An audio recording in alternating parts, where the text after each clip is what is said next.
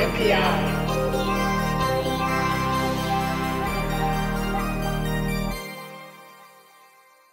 Hi, on NPI brought to you by DigiKey. This week's it's NXP.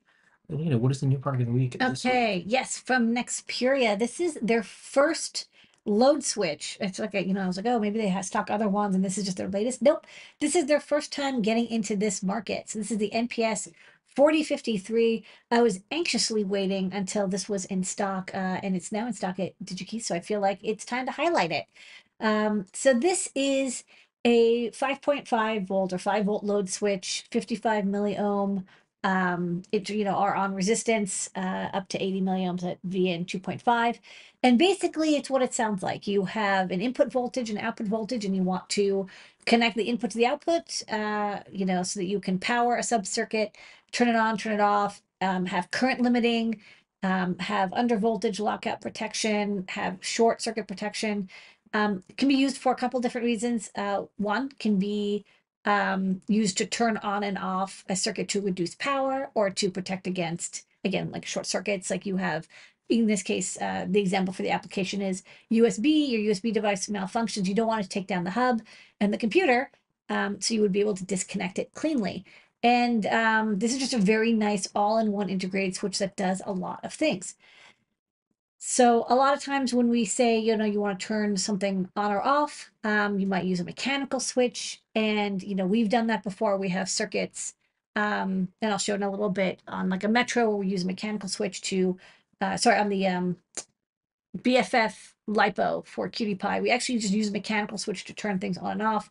The switch is rated for the amount of current we need to pass. So you just, uh, you know, toggle it left or right, turns on or off, or here's an on off mechanical switch that's designed to carry, you know, up to five, 10 amps of current. Uh, but, you know, that's mechanical. So for electrical, you know, you can use a relay or we covered um, SSRs a bunch of times on INPI. You can check out those videos on when you can use an SSR. These are also great, very high currents, uh, very fast. Um, you know, have uh, not mechanical disconnection, but good electrical disconnection between input and output. But these are really big. They're meant for like extremely high currents and extremely high voltages, you know, 200, 300 up. Um, so this is, you know, an example of, of a mechanical switch that we've used. Uh, it's really simple. You want to either um, connect the VBAT voltage, the battery input, to the 5 volt power line or not. Um, you have a mechanical switch, you flick it to connect, you flick it disconnect. In this case, it's a DPDT, and I kicked it in parallel to get twice as much current rating. Um, I want to make sure that the 5 volt doesn't feed back into the battery. And so you'll see that diode. And like I said, this is a mechanical solution. Uh, works fine, but tends to be for either, um, you know, either you have a small switch and, and it's low voltages and currents, or it's a very big, very expensive uh, relay or SSR or switch. If you want to do it electrically, um, so you have a voltage controlling whether something is connected or disconnected, another common setup is the PFET. So T2 um, the transistor in the middle there is a high current P uh, type MOSFET. And I think it can pass like four amps or so. And I think it's good up to 12 volts, uh, VDS and VGS. I do have a, a switch there, uh, but you can ignore that. That switch is just, you know, if you want to also connect it electrically. Um, and PFETs do quite well, except there's a couple of downsides. This is a high side PFET. So one is if you want to control this from a lower voltage, you'll have to have another N channel or NPN type transistor because you see the gate is pulled up high to the input voltage. And so you don't want that to go into your microcontroller. So you'd have to have a separate transistor just to um, switch on and off the gate. Uh, the second thing is that you see in the symbol for the PFET transistor T2, there's that little diode that's pointing back. That's the body diode. Um, and in this case, um, what would happen is that if you you know had a separate power supply or maybe some leakage into the VIN voltage, it could go back into the power supply, which is not good. You don't want to have bidirectional switch um, current. You want to have no direction at all, like neither from input to output or from output to input.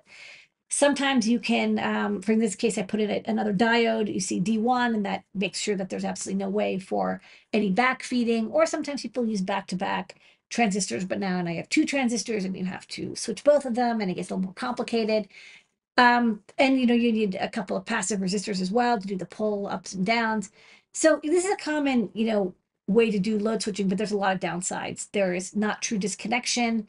Um, another thing is, you know, I've used this in uh, I used this in a feather design once to switch on and off an I squared C power supply to know, internal I squared C sensors.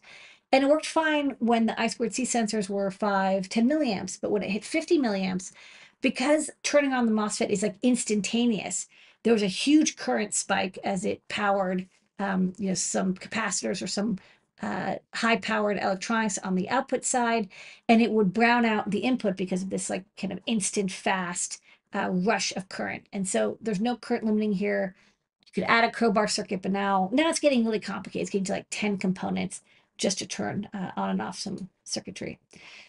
You know, another solution um, that you could do is have a separate regulator. In this case, you know, this is another design uh, type I use. So instead of a PFET, I use a separate regulator. And then the enable pin is tied to an IO, and then you can turn it on and off. This works great as long as you have a higher voltage with enough dropout that, uh, you know, when you have that current rush, it doesn't affect the other power supplies. Um, but uh, you know, you don't always want to have a regulator for each one. You know, you have to add more capacitance. Um, you know, you have to pick one that doesn't have, uh, you know, feedback voltage from output to input. Um, sometimes you don't have headroom anyways for an LDO. You know, you maybe have a DC DC power supply that is providing a lot of current to multiple uh, subsystems. And also the regulator could be kind of big um, because it's also doing regulation when you really just want to enable or disable it. So thus the uh, NXP um, NPS 4052, that's the part number. Um, so here it is. It's a two millimeter by two millimeter package. So it's nice and small. It's very simple. You have the input and the output. You have the logic switch on. You have a flag output. So that is something that tells you when then there's an error, if there's a short circuit or under voltage or over voltage or whatever. Uh, I limit, which is kind of neat. The resistor can be used to limit the current to convert from constant voltage to constant current. And there's a duplicate output because, you know, you want to have a, uh, sorry, there's a, the output voltage. And then there's uh, ground and thermal pad. So very simple, only six pins required. All of them do something. So this is like bare bones. Um, I will say that, you know, the one thing to watch for, this is designed for three to five volt logic um, input, you know, it's, you saw the example was to use it for USB, but it does do up to two amps output current, is quite a bit. Um, so this is good for high power switching on and off. Um, you can set the limit uh, to anywhere between zero to two volts, uh, sorry, zero to two amps, but yeah, you can't really go above 5.5. And honestly, I would stick to between three and, and five volts for this.